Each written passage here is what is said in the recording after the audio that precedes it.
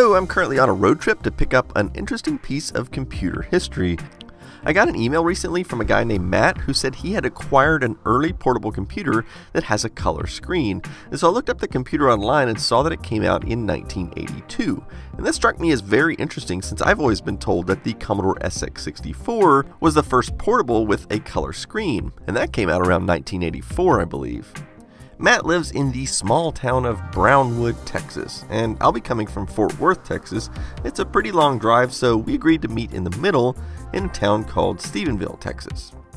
So this is a bit of an interesting or different road trip for me because normally when I go on a road trip, I'm going down interstate highways, and you know the speed limit is usually pretty constant, around 70 miles an hour or something like that. Um, this is a rural highway and so it's kind of weird because the speed limit is constantly changing between like 75 miles an hour and like I'm going like 30 right now as we're passing through a small little city. Um, so that's that's kind of weird. Um, but uh, also I'm driving an all electric vehicle and since we're away from the interstates, uh, there's no charging stations or infrastructure out here anywhere, uh, which shouldn't be a huge problem because I should have enough uh, battery range to, to make the whole trip because I think it's like 150 mile round trip that I'm doing. So we should be okay. So I met up with Matt at a little restaurant and had lunch with him and of course took the computer and put it in my car. And of course now I have it back at the studio. So let's take a look at it. In principle, it's designed similar to the Compaq portable of the same era, with a carry handle on the back and some fold-out legs on the front. Okay, let's move this thing around here.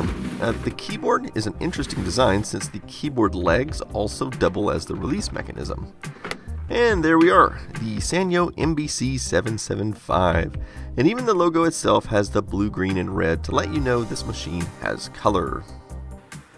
So the keyboard is pretty yellowed, although interestingly enough, it's mostly just the bezel. The uh, actual keys themselves don't look too bad. Now, uh, this does have a standard XT type layout. You've got the, um, the function keys over to the left. There's only 10 of them, and just like an XT, there's no actual individual cursor keys. You would have to use the ones on the number pad. It's also interesting that the bottom of the keyboard isn't yellowed at all, mostly just the top. As for this part of the computer, it's hard to say if this is the original color or not, but I doubt it. Now, I'm sure everyone's wondering if I'm going to retrobrite it, but the answer is no. Uh, first of all, because this doesn't actually belong to me, although I'm sure Matt probably wouldn't mind if I were to retrobrite it for him, uh, but also because I have to go back to Stephenville this weekend to return this, so I just simply don't have enough time. Let's turn it around and check out the rear features. We've got a door over here which appears to house expansion slots. It's weird that two of them are shorter. we'll figure out the meaning of this later when we take it apart. This also appears to be some cracked plastic. And we've got another door down here. And we've got both a digital RGB and composite video output for external monitors. And over here are just some adjustments for the internal CRT, and lastly, over here is the power supply. Now I suspect this hole is for power cable, much like the Compaq does. Of course, there's a plastic door that is missing right here. In fact, uh, you can see the latch for it here. So I wanted to make a quick size comparison to the Compaq Portable 1. The Sanyo unit is at least an inch taller here, but it isn't even the size I noticed most of all, it's the weight. The Compaq is by no means light, coming in at 28 pounds but the Sanyo is a whopping 43.1 pounds, and I can definitely feel the difference when carrying them. Well, let's set this thing up. I'll extend the bottom legs and get a power cord attached, and let's power it on. So it shows it has 256k of RAM and the floppy drive light is on. However, it never actually gives any sort of message such as to insert a boot disk. Anyway, I'll insert a DOS disk and uh, immediately it starts to boot DOS. So we've got our A prompt, and there are two things I noticed right away. For one, the picture is super sharp for a computer of this era. The second thing I notice is the flickering screen when scrolling, and this is a telltale sign of the original CGA design. Later cards managed to eliminate this flicker. Well, I hate to toot my own horn again, but I'd like to play something and I don't have a lot of software handy on 5 and a quarter inch floppy disk that will run on 256k of RAM. So Planet X3 it is. By the way, these disk drives are an interesting design. It's surprisingly easy to line up the disk for insertion, and the closing mechanism is also very easy to use. I like it. Let's start Planet X3. And here we go in its uh, color CGA glory. I say that a bit sarcastically. In fact, uh, this is one of the things I find a little perplexing about this machine. And while CGA technically has 16 colors, the graphics modes usually only have 4, and to be honest, I usually find the games more appealing on a monochrome monitor like the one in the Compaq. So it's weird that they went with the trouble to design a color screen for CGA systems. Uh, my guess is they were probably thinking more about the 16 color text modes at the time, and I don't have an easy way to demonstrate those at the moment. Of course, I can show you the warm CGA palette if that's more to your liking. So doing a little research on this thing, I had initially found this listed on the Obsolete Computer Museum's website with an introduction date of 1982. Now if this were true, it would mean that it was the first color portable, beating out the Commodore SX64 by a couple of years.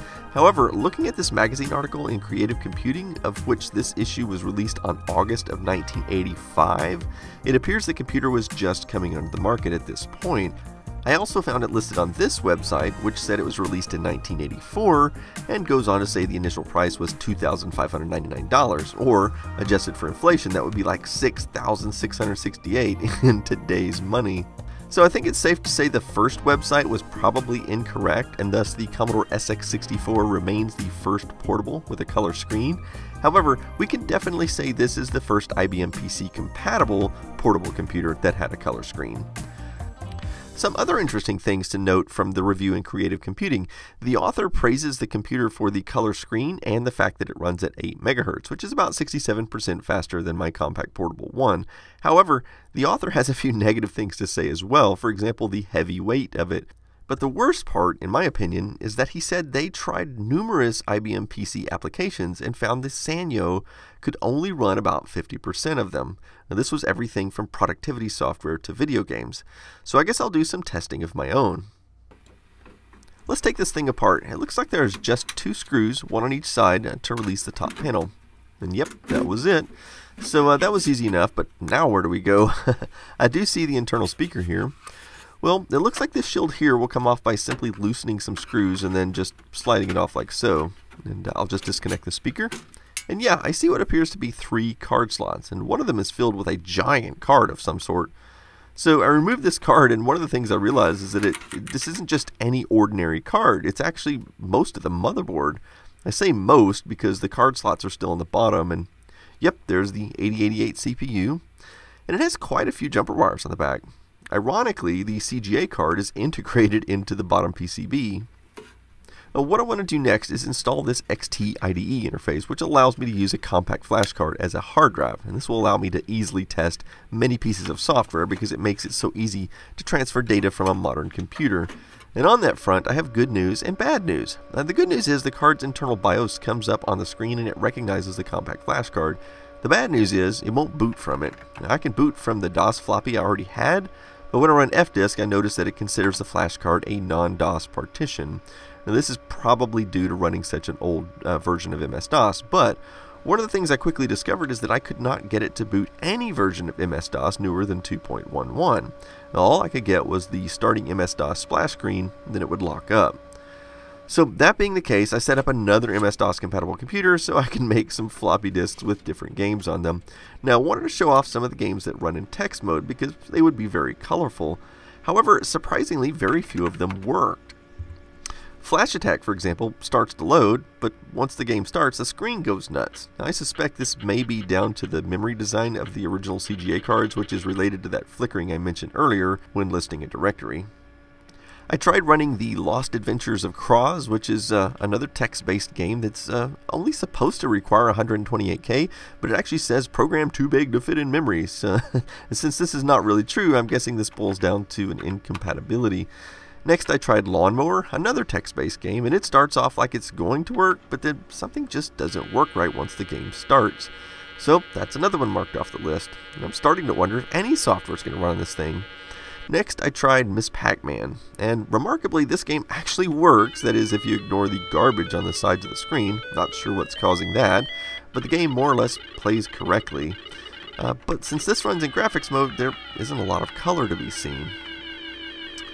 The last game I tried was Ultima 3, which only requires 128k of RAM and CGA, and surprisingly, it works perfectly.